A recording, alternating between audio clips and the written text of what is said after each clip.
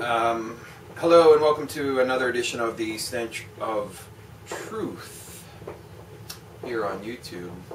I want to remind everybody um, this Friday, my guest on Blog Talk Radio, the Stench of Truth Radio on Blog Talk Radio, will be Dave McGowan, who is well known for his work on Laurel Canyon and the uh, weird and strange connections and rise and fall of uh, various important members of the music scene and Hollywood, as well as the military and intelligence uh, connections throughout that whole scene.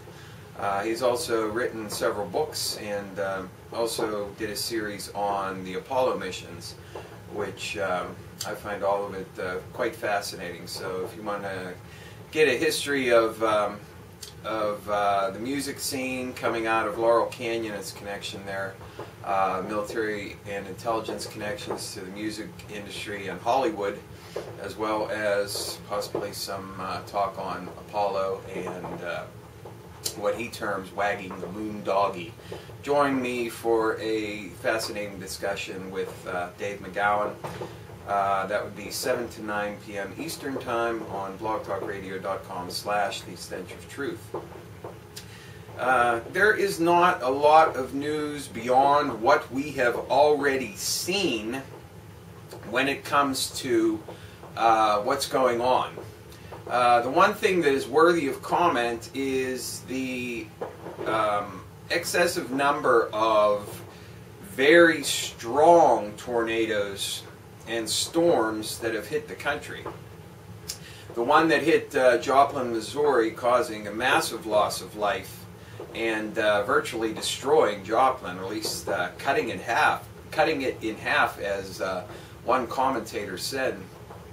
And uh, I know there has been a lot of talk about HAARP and its connection to uh, weather phenomenon. And while I do not discount the possibility that HAARP um, may be involved in some of this weather phenomenon that we are seeing, I think it is highly more likely that what we are seeing is an increased activity uh, with the sun. And as I have said before, uh, scientists have noted, uh, quite rightly, that the sun is a self-regulating mechanism and when it goes through solar cycles there is a gradual ramping up of activity where you'll have coronal mass ejections and solar flare activity that will gradually increase to a solar maximum and then decrease and then you have the cycle start all over again.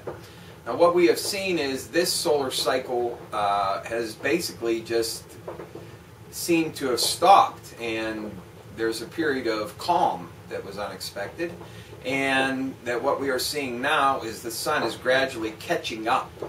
So we're going to see an increase of this type of activity, these solar storms and coronal mass ejections, and this is going to affect the um, the magnetic sphere of the Earth and cause some of this abnormal weather and even possibly contribute to um, earthquakes. And the reason why is the massive amount of energy that is going to be entered into the system. So I do not buy the idea of these ionic ionospheric heaters uh, uh, being the, the culprit behind these storms, although I can't discount it 100%. The other thing that you need to remember is there is a lot of talk about HAARP, but nobody talks about the other ionospheric heaters around the world. There are other countries who have this technology, okay? You had uh, Russian scientists talking about uh, creating their own weather and utilizing weather warfare. Uh, there are other countries who are much more uh, low-key about this, but Russia has been one of the more outspoken ones. So you need to remember and, and, and, don't forget there there seems to be this sort of um, uh, focus on HAARP and the United States when it comes to the ionospheric heater and the the uh, implication of HAARP in various nefarious activities and uh, it should be noted, and people should take note of the fact that there are other countries who are involved in this technology. So if there is some measure of this uh, uh, atmospheric tampering and the creation and or steering or you know upgrading of storms to higher categories by some sort of exotic technology that the US is not the sole owner of this and not the sole user of this technology. So do not be so quick to blame the United States although certainly they're as guilty uh, as anybody else if in fact this is going on uh, they certainly would be involved in it. Uh, but there are other countries as well, so don't forget this. It seems as though Syria now is uh, progressing to the point of uh, civil war, practically, where we have actual uh, rebel assaults on various towns and cities within Syria. So um, keep a close eye on Syria. And uh, I wanted to comment very briefly on Obama's. Um, actions regarding Israel. And what we have is uh, his initial talk about moving back to the 1967 borders and it's and giving the impression that there is um, uh, this idea within his administration that um, uh, he's taking a hardline stance against Israel and uh, really focused on trying to bring some sort of peace there and a two-state solution. Um, but in actual fact, it's just lip service. Um, he's going to carry on the same policies of all the previous presidents and the United States administration as it stands. Okay? So, uh, you know, I don't read anything into that at all. Nothing beyond the fact that it's just a publicity stunt, much like everything that he does uh, when he decides to make any public pronouncement. I also wanted to make a comment about his. Uh, entering uh, a date on his signing of the guest book at Westminster Abbey, um, where he noted the dates. Uh, we got the day and the month correct, but he wrote down the year 2008. I just want to note this in passing, and I don't want to put too much emphasis on it, but uh, just think about this. How many people do you know who write the date on anything, no matter what it is? and they're three years off. That is enough in, a, in and of itself, in my mind, to ask, where is his fucking mind? And that harkens back to my previous video where I asked, is he an MK Ultra zombie? But I think ultimately all of this is a trap, in the best words of Admiral Akbar. it's a trap! Yeah, just like the birth certificate issue, just like all of these other things that are coming out about Obama because there's such a scrutiny being placed upon him. You know, the talk about the scars that are visible on his head, writing a date that's three years off, um, his inability to communicate without a teleprompter telling him exactly what to say, his apparent um, having no uh, agenda that anybody can really clearly identify until you know the final policy is put forward. All of these things are cause for people to wonder and question, but uh, as Admiral Ackbar would say, it's a trap. It is a trap designed to bring people in to a you know a subset of of uh, things designed to illustrate that Obama is either you know not eligible because he wasn't born in this country or not a natural born citizen, um, or that uh, he's mentally incompetent. And this is a furtherance of some particular agenda here, and I think it's designed perhaps to bring people out of the woodwork. Um, just ask yourself this question, okay? it's quite obvious that the so-called long-form birth certificate that President Obama released is a fake and phony document. It's it's patently obvious. Um, but you you also have to ask your question: Why would he release a patently false and fraudulent document when he has the best people within military and intelligence circles who could come up with a bulletproof document for him. They could they could create one probably overnight.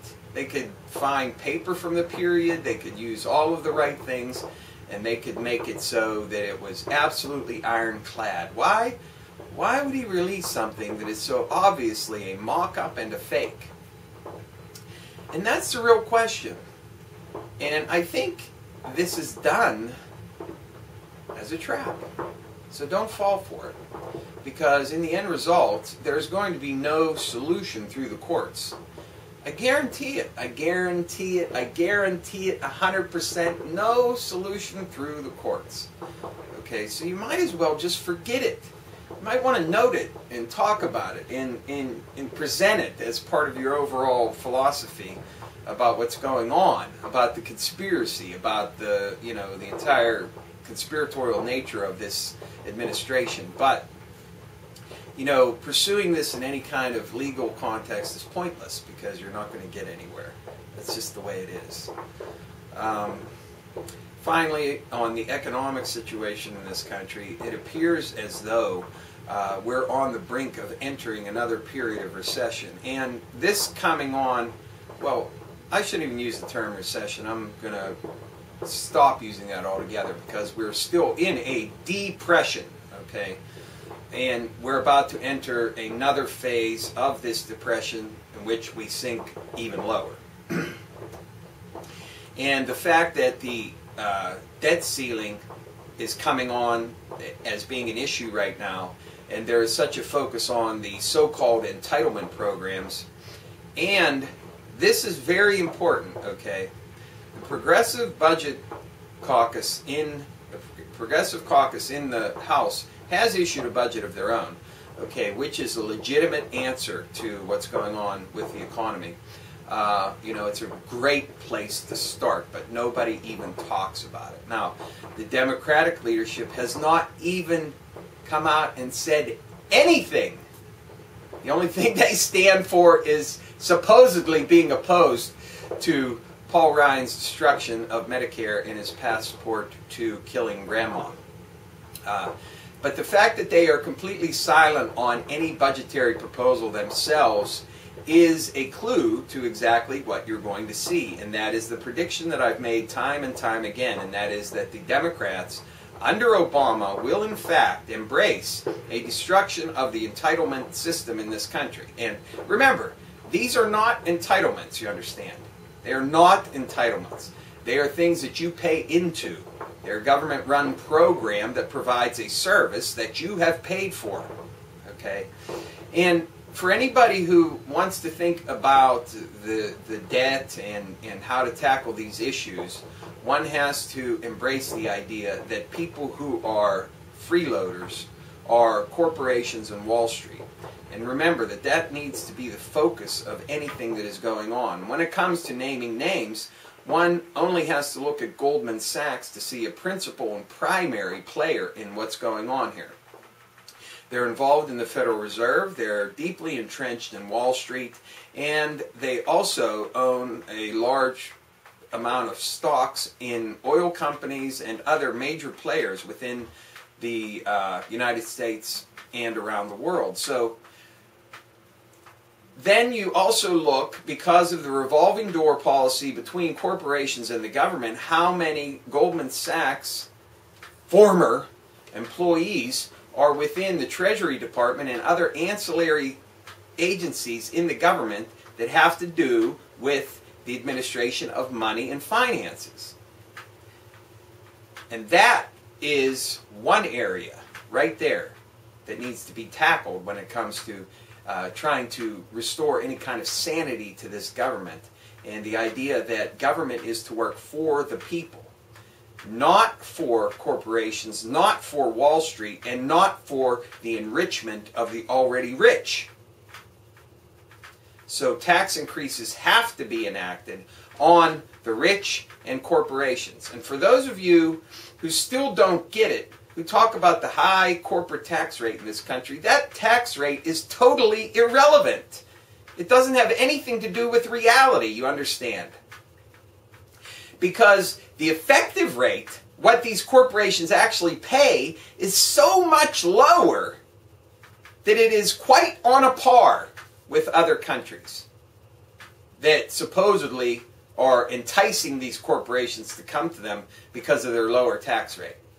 So that is a completely erroneous argument. And as far as job creation, well, we have seen how the utter and complete bankruptcy and fucking failure of these tax cut programs for the wealthy has been in job creation. It's a totally bankrupt policy because it doesn't reach where jobs are. And what we have seen is a hoarding of cash by firms like Goldman Sachs and other banks as well. So it's a totally bankrupt policy. It doesn't work. And the fact of the matter is that when it comes to unemployment, that has to be that has to be a key focus of any kind of recovery efforts because there is no such thing as a recovery or coming out of depression without employment. And because there is no you know focus being placed on tackling the jobs issue and there doesn't seem to be any interest in it by anybody because they are all focused on how they can rip off middle class, the seniors, and the poor even more in an attempt to cut the deficit, which has been largely created by giveaways to the rich and corporations and the wars. And until there's a focus on that by this government, and until the people rise up and protest against it, that policy is going to keep going on into the future, and it is a total and complete failure and totally bankrupt. This is a corporate controlled government. It's a fascist government of corporate control of the government. And that is why you do not see the addressing of any policy towards the people. And you won't until the people decide to exercise their power and demand that this change. So, just some thoughts for today. Thank you. Good day.